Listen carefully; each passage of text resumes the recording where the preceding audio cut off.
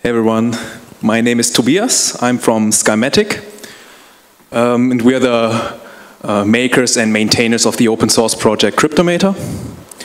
Um, I'm joined today by Markus, and we've co-founded Skymatic with Sebastian and Christian last year. Uh, before and um, yeah, after around two years, uh, we've already released Cryptomator, and um, yeah, let's cut to the chase and uh, I'd like to give you a lightning introduction to Cryptomator. It's a client-side encryption solution for cloud files. And that means that your files are encrypted on your device, uh, on your device before they are uploaded to the cloud so that your Nextcloud server only sees encrypted data. Um, with Cryptomator, you create a vault and assign a password. And that's all that you have to do to set up. So on the left side, um, you see that the files are encrypted individually. The file names and the file contents uh, are encrypted.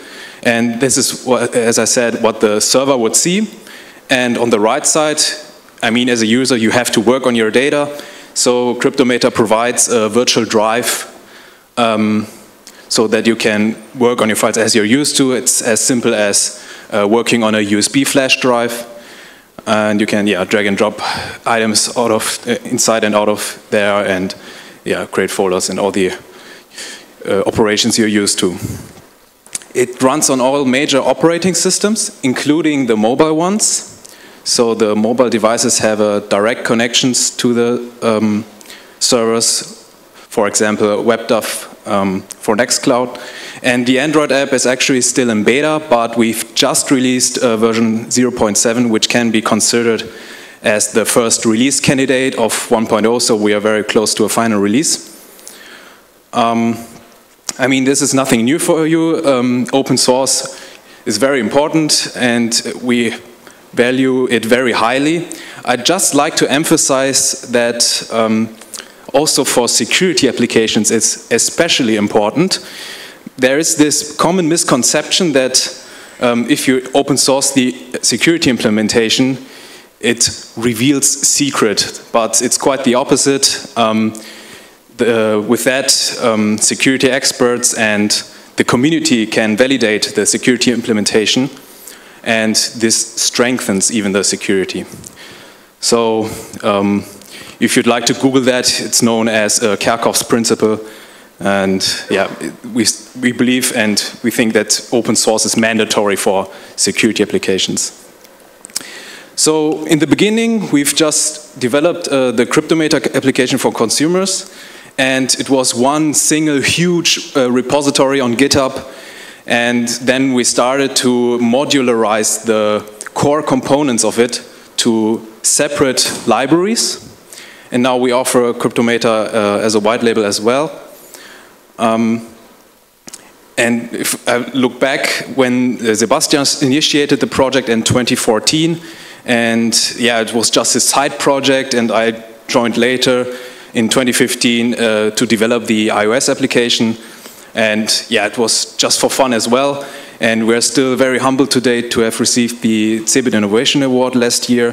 And this is when we thought, okay, let's make uh, a full-time thing.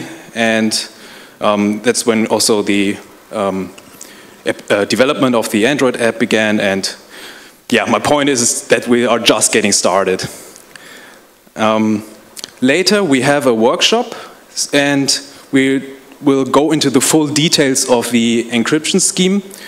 So, for example, how the key is derived from the password, how we do the name encryption, the content encryption, and how we ensure the compatibility across multiple platforms by these little tricks like path shortening and restructuring the hierarchy. And um, yeah, we have these cryptographic libraries for Java and Objective-C. However, we've asked ourselves, how could we provide a client-side encryption solution for the web browser?